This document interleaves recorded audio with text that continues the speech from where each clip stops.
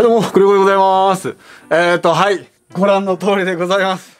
あ、ちょっとこれあの、今、形よくカットしてたんですけど、あのー、そうですね。やっぱこう、ずり落ちるような折り方をするというか、まあまあ、そらしてしまいますけど、若干高さがあるんですね。まあそういうのを繰り返していくと、はい、もうこんななっちゃいますよ。もう破れた上に若干このスポンジももう痩せてるというですね。はい、もう肉抜きされてます。距離もはい、40万キロも走ればやっぱりこう、すごい回数乗り降りするんでですね。これはなんかな、えっと、モケット、まあモケット系ですかね、のシートなんで、まあやっぱ破けますよね。はい。ちょっとはい、もう残念な感じなんですよね。しかもこれタバコの跡もあるというですね。まあ前乗ってた方がこう、スパカスパカするもんで、多分運転中に吸ってて、こう、火玉が落ちちゃうみたいな。まあなんかタバコ吸われる方のあるあるですよね。はい。もう皆様、あの、タバコはおやめになられてください。あ、でも今なんか、あの、アイコスみたいなやつだったら、あの、こういうことも起きなくなっちゃいましたかね。まあはい、それはいいんですけど、えー、っと、もうシートがちょっと汚いっていうのと、もう痩せて、あのーこう破れ修理するのもまあまあめんどくさいんでですね、綺麗にするのは。というわけで今回はですね、えー、っと、ちょっとここの破れを修理して、肉抜きじゃなかった肉盛りして、で、安いレザーシートを貼っていきたいと思います。はい。よろしくお願いします。まあ、あのーハイエースなんですか、まあ、合成レザーですけど、はい。まあまあちょっとシート安いのあったんですよね。えー、と、はい。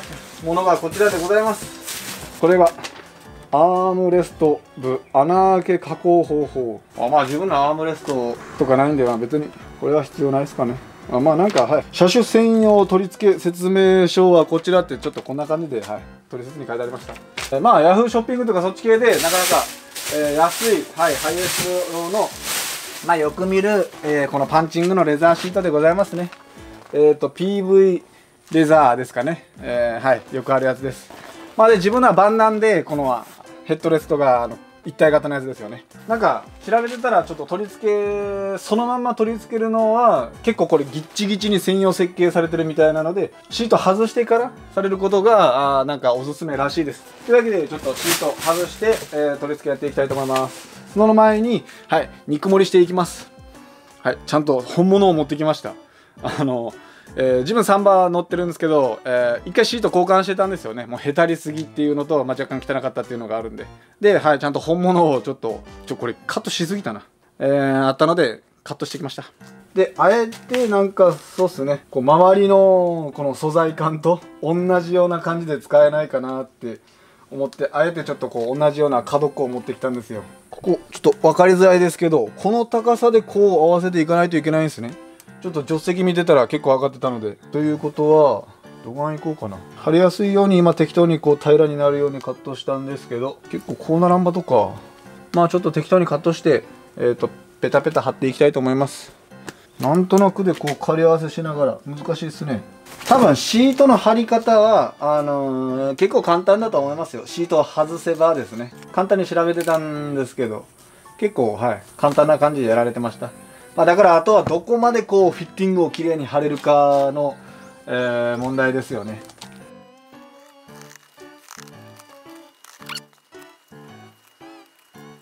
まあ結局はこうシートの中に埋もれていくところなんであのざっくりでいいとは思いますけど。ちょっとちょっとスキップします。さあちょっと今度はですねえっ、とはい薄っぺらに切ってきました。一応まあこっちもある程度形しやすいようにあの貼り付けしやすいようにですねとはしてるんですけどお互い綺麗にカットしてちょっとこう厚めになるように、えーなったがいいのかなって感じですよね。ですのでちょっとこう貼り合わせながら。いいんじゃないか？これでもうちょっとこっち薄めに千倍やったかな。ちょっとこう型を見ながら。まあスポンジなんで。であのーさらに上側のこの生地が生きてるので、まあ、貼り付けてからこいつをこうまあ引っ張ろうかなって思ってるんですけど、まあ、できる範囲で、はい、全く同じ多分厚みとかにしてしまうとあのー多分すぐこうへこむ感じになると思うので多分こう若干肉厚の方がいいかと思われます。どっちみち痩せてるんでですね結構。あとはカッターの切れ端がいいのを、えー持ってこられてください。まああのはい。こんな感じでございます。ちょっと熱すぎます。熱いぐらいがちょうどいいです、はい、これでえーっとまあ一応布もいいんですけどまあ生地同士だったら別になんかこれでもいいみたいですけどね。裁縫革命。はい。えーっとなんだボンドメーカーのボンドです。洗濯 OK 裾直しとかカバン製作とかなんかはい。裁縫上手。えー、ズボンスカートなどの裾上げ、えー、カバン製作、えー、服のアレンジ。アイロンでさらに強力速乾接着。洗濯ドライクリーニングでも剥がれにくい。というわけでまあちょっとこいつをどっぺりつけて塗り広げてああクリアですね。えー、生地の両面に塗布し、えー、付属のヘラで伸ばしてください、えー、生地同士を貼り合わせて大きめの当て布をして、え家庭用アイロン140から160で、え1520秒ずらさずに圧着してください。レザーシートとかもこれ意外とあのがっつり貼り付くらしいんですよね。結局ここはあの抑え込まれる感じですのでまあちょっとスポンジとスポンジがある程度でくっついてくれればっていう感じで、はい、貼り付けるって感じです。スポンジだからちょっと座れそうですよね。たっぷり塗っておきましょう。あ手にボンドがつかないように。あの手袋などされた方がいいかもですね。えーとはい。ちょっとこの辺あの裁縫でこう縫わせようとか思ってたんですけどあのちょどうもちょっとこっちの生地がボロボロでできなかったので、はい、こいつを貼り付けちゃいます。えーとなんか見覚えないですか？まあサンバーお乗りの方だけでしょうけどサンバーのヘッドレストの生地でございます。あーでもこれもなボロボロなるかな。結局あの上にレザーシート貼るので大丈夫かと思います。ちょっと意外とボンドが足りませんでした。スポンジにたっぷり使いすぎて。ちょっと見た目はあのご了承ください。ただの押さえですので。はい。よ しで100度。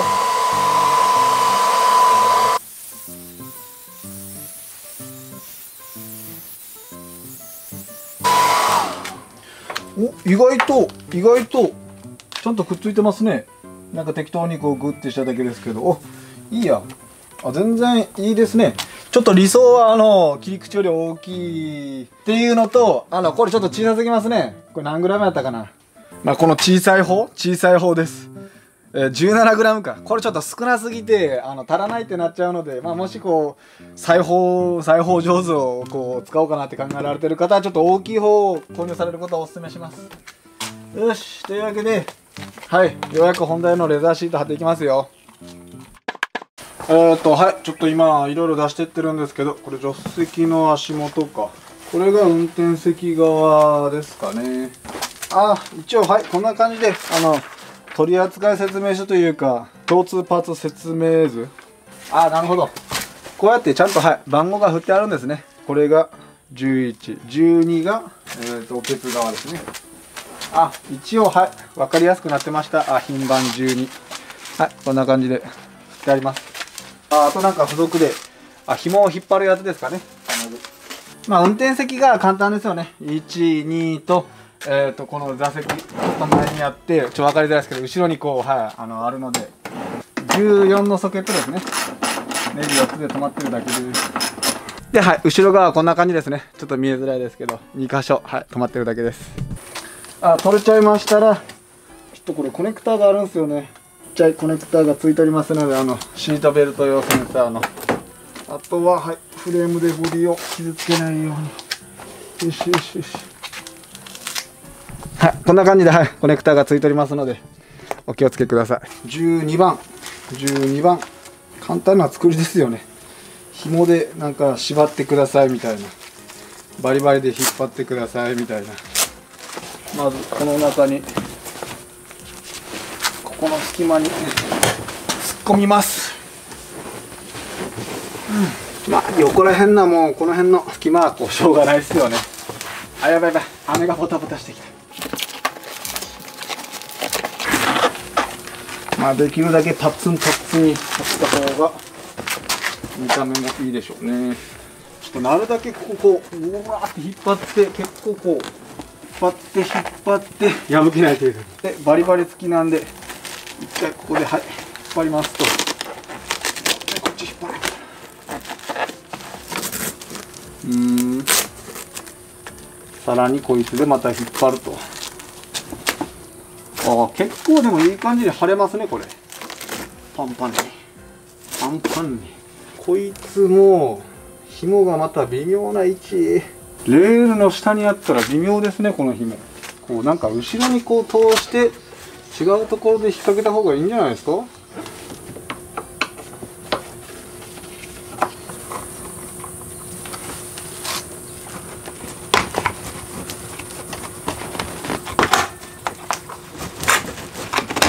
ちょっと無理やり引き抜きましたけど。どれが正解ってはないんでしょうけど、もう外れんしな。まあもう気にならない方はもうこうそのまま下に引っ張っていいと思いますけどちょっと自分はこれは嫌ですね。えー、っとなんか皆さんこううまいことやられてください。とりあえず自分はちょっとこれ一回こう通してます。でボルト戻してなんか後ろに引っ張りきらんかな。うんこれで後ろに引っ張ると。この紐が目立たないように。こうやったらまたレールに当たるか。もうこの辺はなんかもう人それぞれですね。まあ別にここのカバーはちょっとあの外してしまなくてもいいと思うので紐を同じようにこうしとくか。ちょっと分かりづらいですけどはい。あのカバーの中ではこんな感じにしております。ちょいと細かい細かい感じですけどここに穴があったのでこっちから紐を引っ張ってはい非常に変なこだわりですけど、えー、はい。こうすることによってはい。無事えー、っと紐がレールに当たることなくこう引っ張れますね。まあ結局紐なんでちぎれてしまえば何の意味もないんですけどはい。変なこだわりでした。はい次は11番でございます。こいつはかぶせて止めるだけ。ああですね。かぶせる。ちょっとバリバリがバリバリがバリバリですね。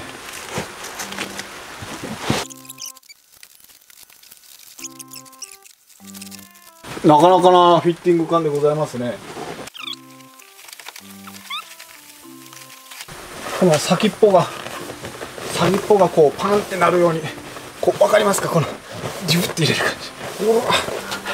これで下までもゴム手がいいですね。ちょっとこいつツルツル滑るんで。あとはですね。えっ、ー、とこう引っ張ってこう止めていいんでしょうけど。ちょっと分かりますかね、まあ、ここのカバーをこう外してもらえればもうちょっとこっちに引っ張れるとかな。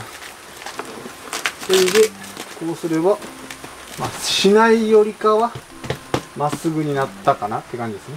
このこのカバー外して。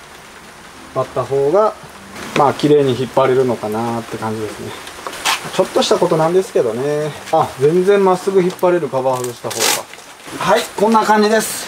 ちょっとそうですね。あの自分の動画参考にしていただいた方だったらこうつけてみてお分かりかとは思いますけど。ここがはいなんかこうまっすぐこう貼れるんですよ。なんかやってみたらあこの言葉こいつ夜とかっていうのが、まあ、お分かりいただけるかと思います。もうできました。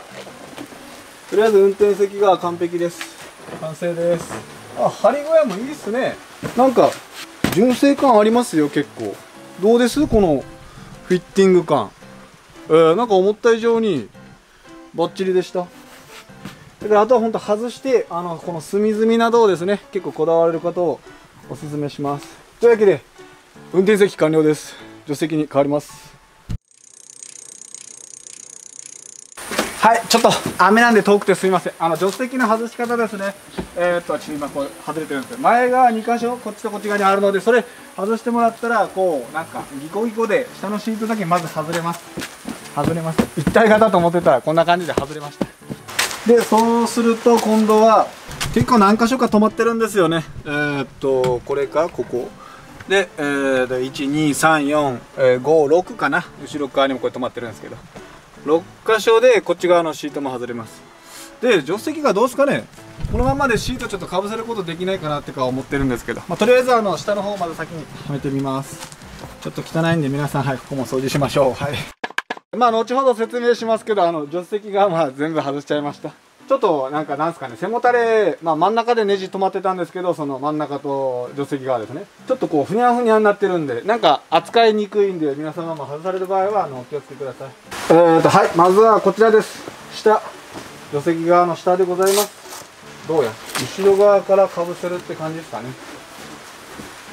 あそうでしょうね。なんか感じ的に。ちょっとベタベタがあるんでベタベタっていうかバリバリか。えー、なんか設計がしっかりしてますねほんと。あちょっと汚いシートが。なんだこの真ん中ど真ん中って。今度は前側を逆か？こっち側からはめた方がいいですねなんか。多分ですけどこっち側がちょっとクッション性がないんで。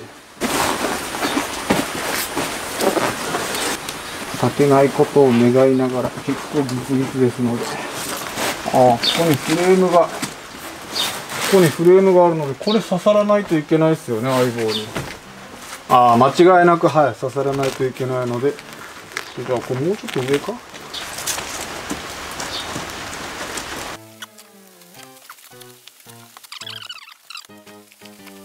あとはこいつたちをこうどこに引っ張ってあげればって感じですよね。やっぱせめてあの取扱説明書が欲しいもんですね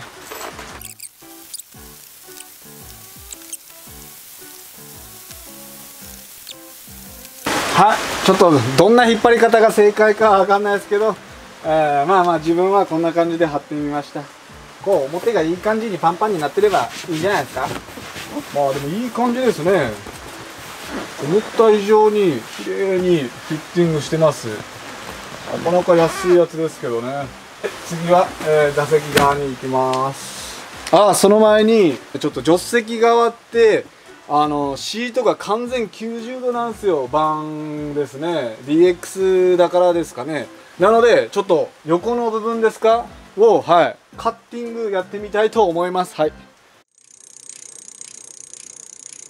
はいちょっと室内に、えー、逃げてきました。はい助手席こういうことなんですよ。なんかセンターこうふにゃふにゃなんですよね。まあ一応この真ん中もですね。どこやったかな？あこれか。えー、はいバラすことはできるので、まあ、やりにくかったらバラしてもらってもいいんじゃないでしょうか。あ一応簡単にバラせますね。あよいしょ。あ結構ネジ硬かったですけど普通に、はい、バラすことできました。ではい本題はこちらでございます。お決まりなんすよね。だからこう倒れてはい置きます。ここで必ず止まるのでまあそうですよ。助手席に乗られてた方などにですねだいぶクレームを受けましておいおい90度やっかみたいな。まあ確かにちょっとこれあのハイエースまあ今のやつはもう改善されてるとは思いますけどちょっとこの DX 問題な作りですよね。というわけで一応なんかカットすれば当たるところがあるので改良できるらしいのでちょっと挑戦してみたいと思います。ちょっとここのパワーが。よいしょ。なかなかカバーががっちりはまっております。おっと。ああこいつが邪魔で外れませんあ抜けた。こいつははい引っ張れば引っこ抜けました。よし。うん。ああここにはまってますもん下側に。えらい取りに行かないと思ったら。でえー、っとどんな作りですか？ああそういうこと。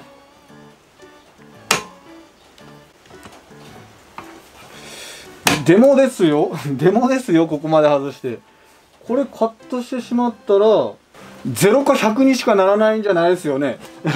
後ろにともあでもそっか前側に行かんけあれか。もう完全リクライニングするだけとか。ちょっとそれもそれでめんどくさいですよね。え大丈夫とかなこれ。まあ最悪えー、っとそうですね。ここで止まるんで。ここで止まるんでですね。あここでは止まるとか。えー、だけん。もうちょい後ろとかじゃこれ止まらんでしょうね。まあだから倒れてしまうことはできますよね。寝るぐらい。でもその途中で止まるってことがないんじゃないですかね。まあいいや。まあとりあえずここで止まるんで大丈夫でしょ？というわけで分かりますか？この部分ですね。この部分がはい邪魔してここに当たって多分0か10になりそうですよねマジで。まあいいや。その時はその時であのネットで買います。シートを買います。というわけではいあのこの部分カットします。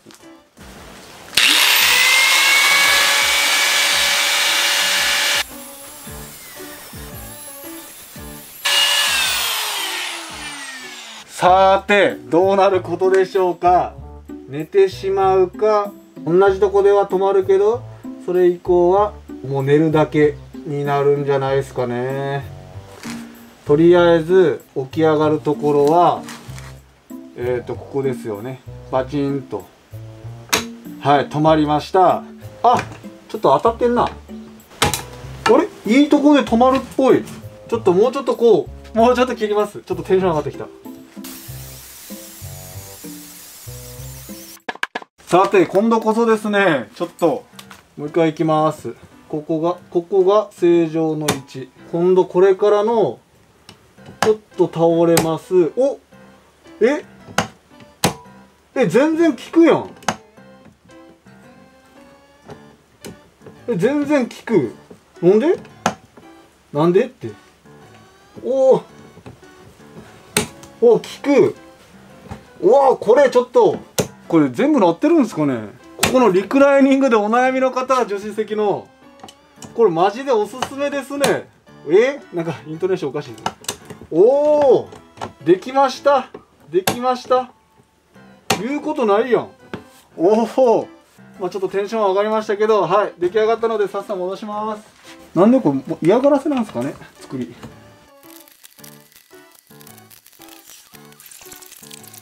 はい。で、えー、引き続きちょっとこっちもレザーシートはめていきます。まあなんかどうでしょう。こっちも同じような感じがしますよね。あこれやっぱそうっすね。取り付けてからかぶせた方がかぶせやすいかもしれないっすねこの状態じゃまあ入れ込むだけじゃありますけど結局ギュッてしないといけないので。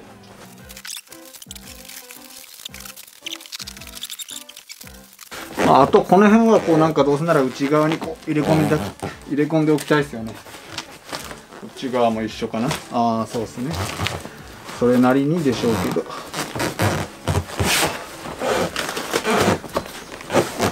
あちゃんとこの角まで入っていくような作りになってるんですね。こっち側は違うか。反対側はなってますね。もしかしてこっちもか。あー。こっちもこれ以上いかねえ。危ない危ない。そっち側の調整だけって思ってましたけどそりゃそうっすよね。そういうことか。危ねえ危ねえつけてみて結局ならんやんってなるとこでした。えー、じゃあこっちもカットできるとかな。ああまたこのカバーの外しにくいこと。なんか上に外せば上にずらしながら。あと1箇所プラスチックがはまっとる。あーやっぱりそうっすね。こんな感じでしっかりカッチンコッチンこれ止まる感じになってますのでもうここからざっくりいっちゃいます。ちょっとレザーを焼かないように。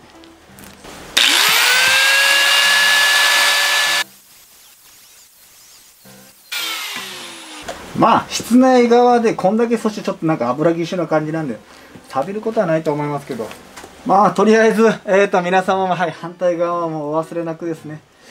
まあ間違いないと思います。ここまでカットすれば。間違いなくだってこれでこういきますもんね。ずっとどこまでも。ああでも結局ここで止まるとか。カバーのやつで。いいんじゃねえかな。ここで止まる分ぐらいは。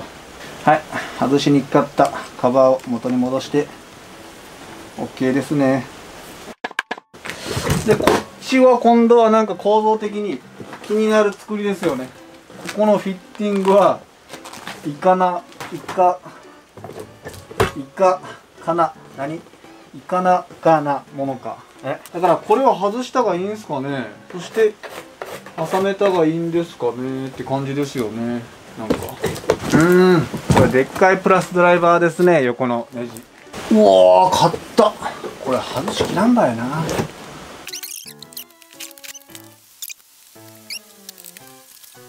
ああちょっととりあえずそのままシートかぶせます。まあいいや。とりあえずはい。ちょっとこの辺隙間挟めれるんだったら押し込む予定です。ネジがバカになりそうだったので諦めました。これもこうはめてはめて。ああまたちょっとこのここの横のこのネジを緩めるだけで緩めるっていうかちょっと外すだけでカバーガパガパになるのでなんかその方が隅々まで押し込めれますね。はい。こんな感じで動くので少しでも。ああ間違いなくセンターのボックス外した方がいい。と思います。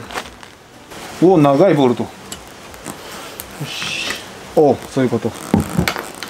ああだいぶガパガパなりますね。それで食い込ませる。ベトベトってこれここで終わりやん。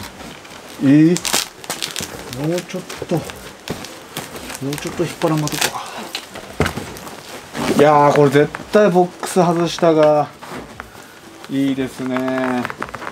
マジか。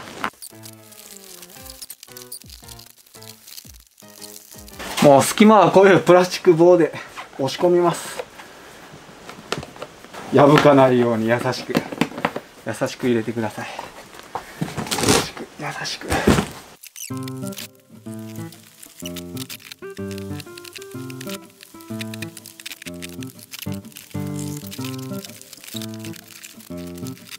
よしとりあえずもうちょっと多分頑張ればここの隙間きれい埋めることできるんでしょうけども。諦めます。諦めます。自分のはとりあえずここぐらいまでれることができました。結構ギツギツですよ。なかなか。思った以上に。ボックス外せばもっと楽だったと思います。マジで。はい。じゃじゃーんと。元通りでございます。ネジも元に戻して。はい。よっしゃ。あとは、えー、これで元に戻すだけですね。フロントは完了かな。とりあえずこいつから戻します。あららららら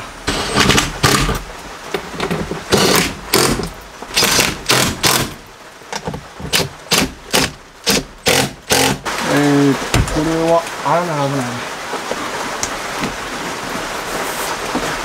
ちょっとざっとですけどはいこんな感じで後から固定できます。というわけでちょっとネジババーっと締めますはいあとははいこっち側座る側のはめ込んでちょっとシートベルトをあの迷子にしないようにあれそっかステをこうはめながらですよねどこやったっけここら辺にあるんですよなかなか下がギツギツですねっしゃ。運転席がバッチリでございます。ちょっと雨がひどくなったのであの後部座席は後日です。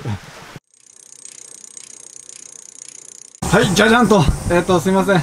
この後部座席、えー、っと、レザーシート貼ってる動画がどこを探しても見つからなくてですね、あの、いきなりちょっと完成しちゃった動画になっちゃうんですけど、まあでも別にあの、はい、あの、難しいことないですよ。とりあえずあの、今、裏側ですね。